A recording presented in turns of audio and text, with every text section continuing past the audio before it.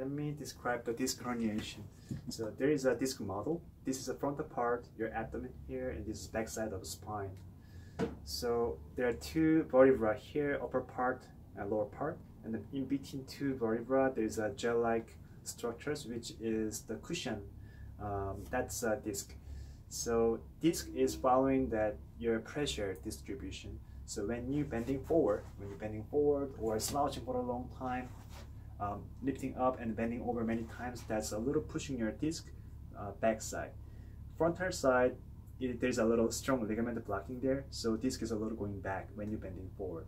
And then if you're too much motion or um, too much stress on the backside, uh, one day is a little popping up and then we call it bulging disc, slip disc, and herniated disc. And that's touching your nerve structures and a little narrowing the space over there, then that's a little make inflammation and that pain usually going down. So we call it sciatica pain and then herniated disc pain, something like that. So yeah, that's the basic model and then the principle of herniated disc. Okay, so I'm gonna show you the best exercise for disc herniation. So I'm gonna just let you know the basic principle how to make your herniated disc put it back to the normal place. As I told you before, if you are bending forward too much, repetitive, repetitive movement of bending forward or slouched for a long time, that's pushing your disc backward. So we gotta do opposite. We gotta we gotta bending backward. So can you show me bending uh, backward? Um, cobra motion, prone press up. So when you're bending backward, um, back extension, that's pushing that's pushing your disc uh, forward, so to the, your original position. Go down. Good.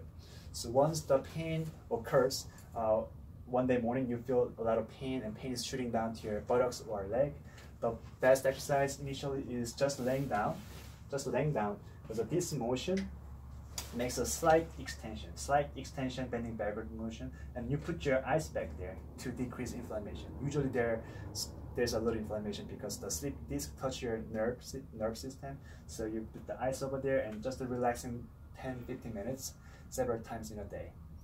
And second movement, once you get better, uh, prone, uh, elbow motion. So you go up and you blow out and sag your back and relax there three to five seconds 10 repetitions every two three hours go down good so once it that works your pain is going to the center of your back so once you felt the below your be, below your leg below your knee that going up to your buttocks and going to the center of your back. Is that the sign of you're getting better. Once you get better you're doing um, prone press press up. So go up. So you make a little more extension motion. Push the all the way your disc to the frontal, the forward, the original position. Same principle, three to five seconds, go all the way up and blow out. Stay there three to five seconds, 10 repetitions every two, three hours. Good. So pain is gonna go to the center of your back and that's gonna go away.